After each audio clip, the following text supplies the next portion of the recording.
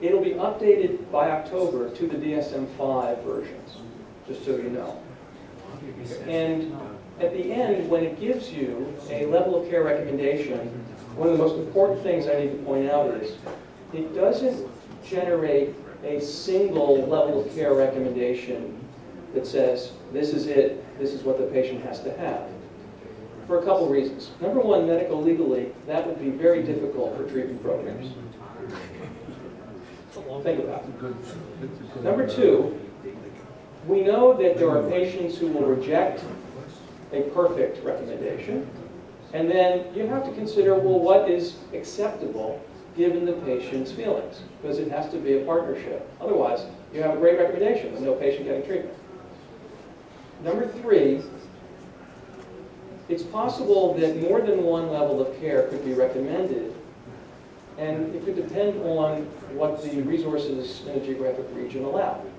So you may have, if you're familiar with the criteria, you may know that there are patients for whom 3.5 or 3.7 is recommended.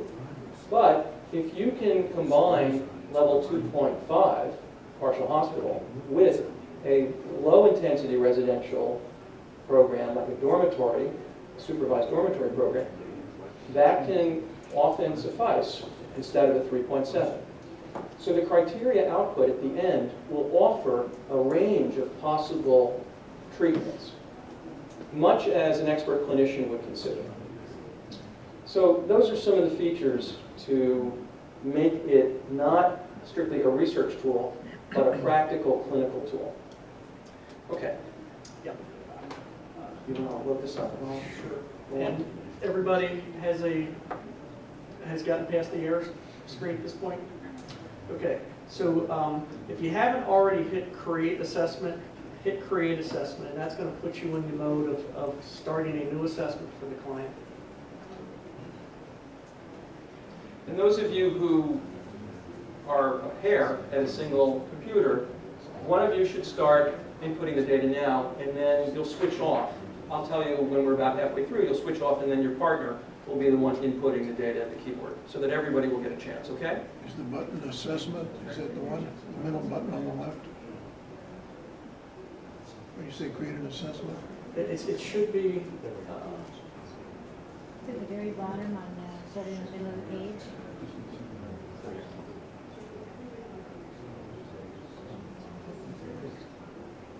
Very bottom at the middle of the page. You go on the inside when we're done. Okay, and be- and before we start with the videos, if you notice, there's a a navigation menu on the left side of the assessment screen.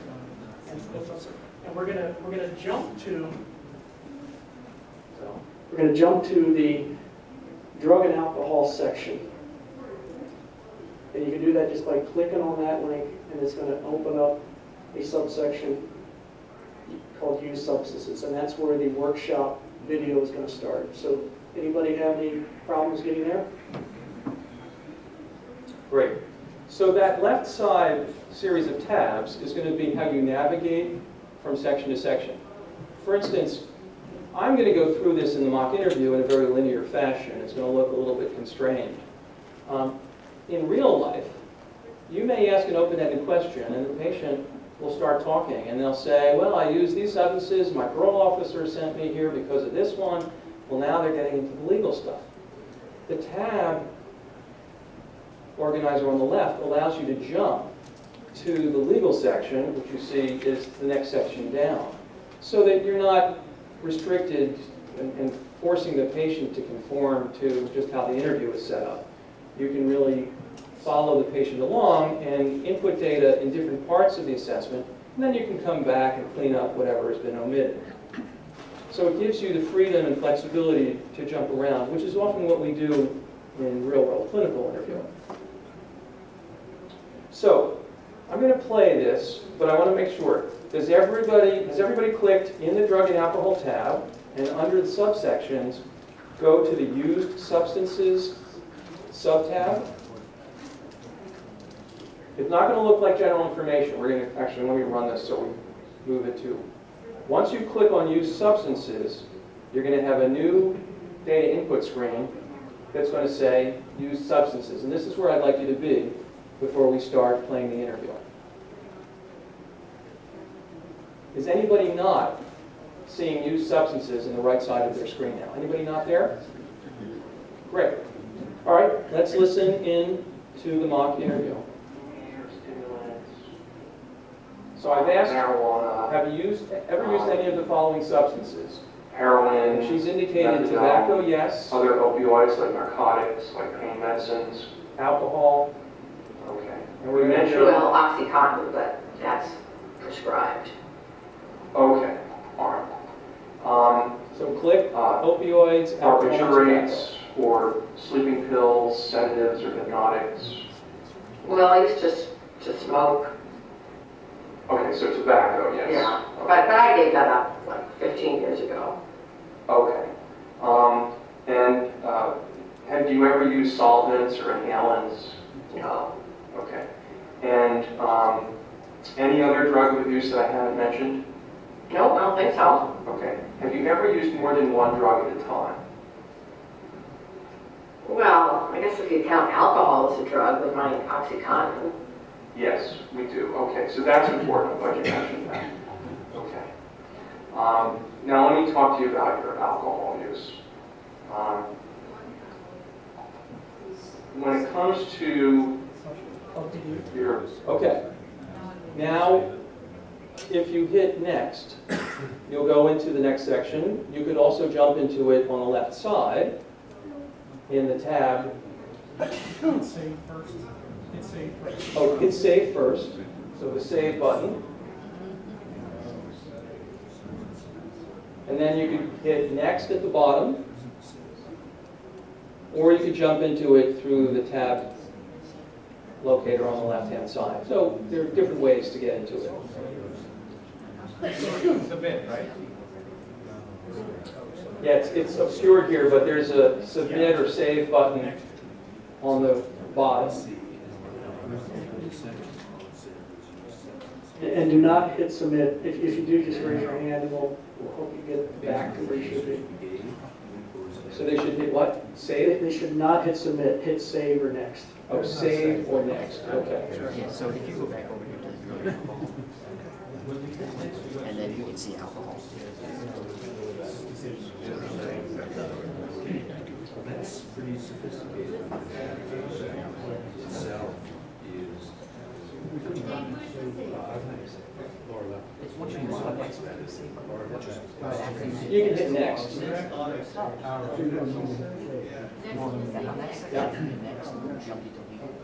next. If you click save, you'll see a whole new. There's no say. Then you say,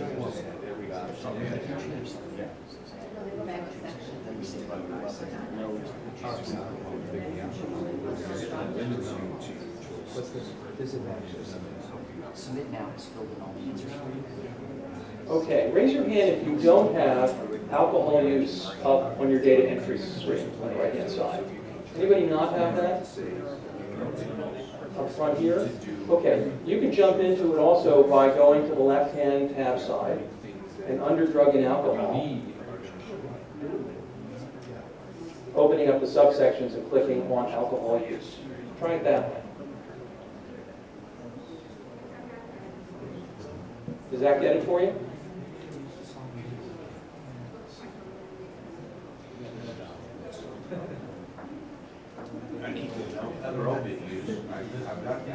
Can you help this fellow in the front, second row?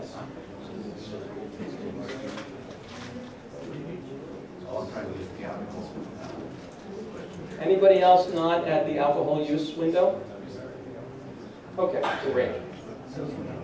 All right, so now you're going to see a frequency, quantity, frequency, recency assessment. And we do that before we go to the DSM criteria. So here we go. For use of alcohol, when's the last time you, you drank? Hmm, let's see, it's probably like last night, maybe midnight or so. All right, so Okay, type so of it's the one, last day. number one in the first response box, and then in the second response box, you right click And how many days. days did you use alcohol? Pull in the that down, you could do 12 hours, or 24 hours. Probably every day. day, I I don't think I missed a day. Really? Okay. Okay? This gives you a chance to see the different ways you could respond. And the computer understands 12 hours or one day pretty much equally well.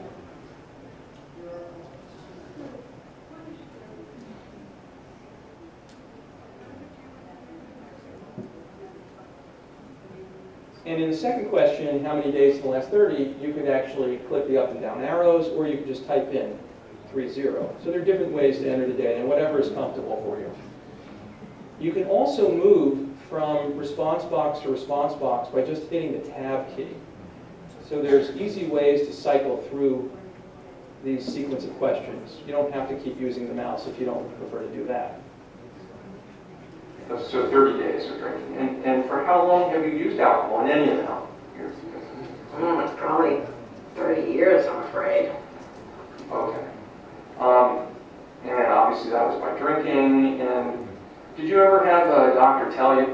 Now, I made the pretty safe assumption that the alcohol is being used by drinking. But, you know, with other substances, there are many routes of administration. So you'll see that option come up with other things. You know, you should, you know, have some alcohol for your, you know, health or for any reason. I mean, like to lower my cholesterol? Yeah. No. Okay. Um, We have a pretty honest did issue. you ever use alcohol to the point of intoxication? Well, you could probably say that I do that every day. Really? Okay.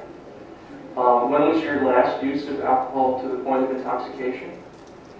Last night, Okay. Um, how many days have you drunk to the point of getting drunk in the last 30 days? I'd say every day. Really? Okay. Um, and how long have you been using alcohol to get yourself drunk? Oh, probably since my 30s, so maybe like 20 years. 20 years? Okay. Um, so in the last year, I'm going to focus on that. Think about your use of alcohol, okay? Do you need to use more alcohol to get the same feelings you used to when you could use less? Or do you get less of a high when you use a certain amount now compared to what you used to use? Yeah. Sometimes I'll drink whiskey after my beers for just that reason. Oh, okay. Do you ever get physically sick when you stop drinking? I get bad shakes, if that's what you mean. Yeah. Do you sometimes use in order to prevent this from happening? I suppose so. I'm usually drinking, at least by lunch. Okay. And when you're using alcohol, do you ever feel that you don't stop when you want to, or feel that you should stop? Yeah, all, all the time. Okay. And have you ever tried to cut down? Yeah, Yeah. a lot of times. Yeah. Okay. I know it's hard. Um, does alcohol take up a lot of your time?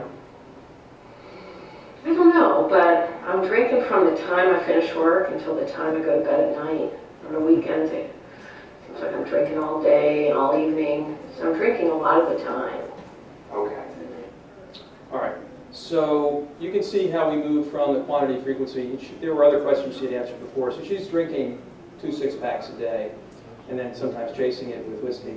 And um, that's gotten us from the quantity frequency recency data into the diagnostic criteria. And now we're going to move on, and I think the next section is, let's see.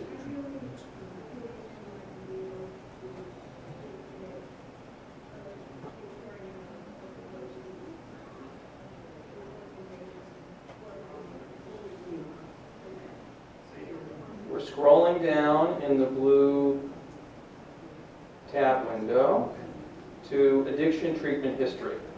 So did you see how I did that? Go to your left tab window,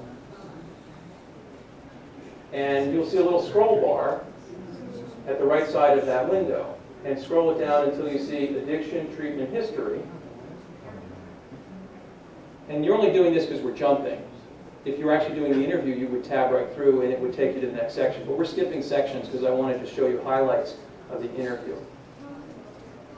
On the other hand, if you were doing this in a more open-ended fashion, you could jump, the patient might be jumping around and you might say, yeah, she wants to talk about addiction treatment history. I'll just jump to that section. This is how you would do it.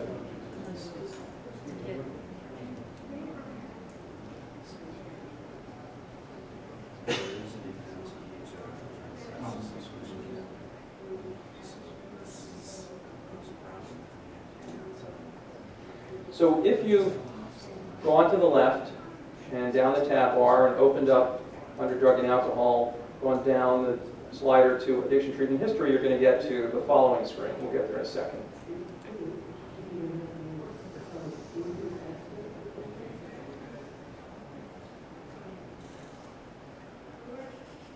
Okay. So you should see addiction treatment history if you've gotten there. Anybody not see that on their computer screen? Great. All right, let's hear the interview at this point.